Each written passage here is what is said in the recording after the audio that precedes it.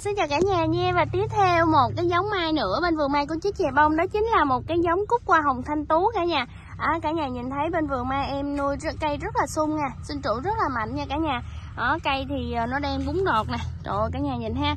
Thì à, cái hoa hồng thanh tú mà cả nhà phải biết rồi đó thì à, nó vừa chơi hoa vừa chơi lá nha. Cái đọt của nó thì khi ra nó sẽ đỏ rực luôn cả nhà. Ở đây ha.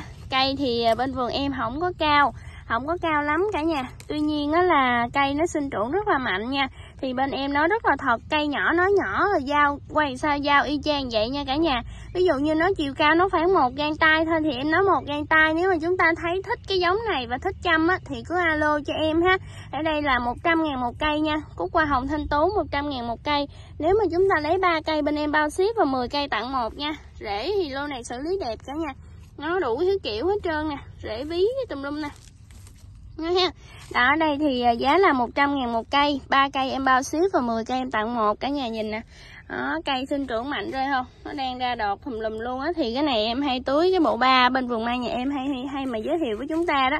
Nó đâm đọt lá phè phè như thế này nè cả nhà. Cây nó chiên cú như cây mai si luôn á. Và đặc biệt nó cho những cái cây mai nhỏ nhỏ như thế này nè.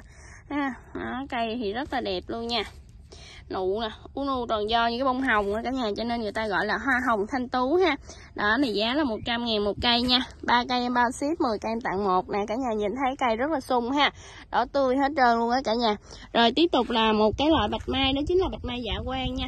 Loại này thì hoa của nó thì màu trắng nhưng mà lá là màu xanh cả nhà. Nó chính giữa nó có dạ dạ ra chính giữa là màu vàng đó, cho nên người ta gọi là bạch mai dạ quang á cả nhà. Đó cây thì như thế này ha cây này sinh trưởng mạnh lắm nha. Ra đọt vèo vèo luôn á, ghép được với ta mà cao hơn ta hết luôn nè. Đó, dễ chăm hơn các cái loại bạch mai khác hết cả nhà. Thì giá cũng là 100 ngàn một cây nha. Nếu chúng ta lấy 3 cây em bao ship và 10 cây thì bên em sẽ tặng một luôn ha. Rồi, tiếp tục về hàng bên đây nha cả nhà. Ủa, cái hoa hồng thanh tú nè cả nhà nhìn nè. Nó ra đọt thấy mê không? Ừ. rồi, bên đây chính là cúc hai tầng nha. Cúc hai tầng quỳnh tấn phát cả nhà. Cây này thì đúng là chắc khoảng 10 phân thôi nhưng mà đặc biệt nó có nhánh nha nó có nhánh nhảy ra nè cả nhà nhìn thấy nè. Ha đó đây thì giống như là cái mắt lá của nó quá nhặt đó cả nhà cho nên là nuôi nó nó nó không có cao mà nó nhảy xè xè xè ra như thế này ha. Ừ, 10 phân mười mấy phân gì hả? Đó giá là 80 ngàn thôi cả nhà 80 ngàn nếu chúng ta lấy 4 cây bao ship 10 cây em tặng một nha. Đó, cả nhà nhìn nè cúc hai tầng quỳnh tấn phát. Thì đó nam em có giới thiệu với chúng ta cái cúc hai tầng hoa của nó rất là đẹp luôn ha. Hoa của nó xoáy xoáy xoáy và nó ôm nhau rất là đẹp cả nhà. Thì giá có 80 thôi nha cả nhà. Đó.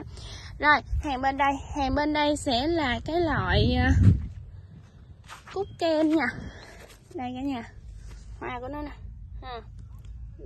kem cúc kem nha cúc thì nói chung là nó nhiều cánh rồi. Thì hổm em có dảo kem nè rồi nay có cúc kem ha.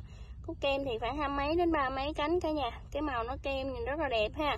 Cái kem ngã vàng vàng vàng vàng á cả nhà. Giá là cũng 100 ngàn một cây cây nhỏ xíu nha. Cây này nó nó nó trước cây nó vài nha cả nhà. À, nó ai ai chăm được thích chăm được thì cứ alo cho em ha. Đó là cúc kem.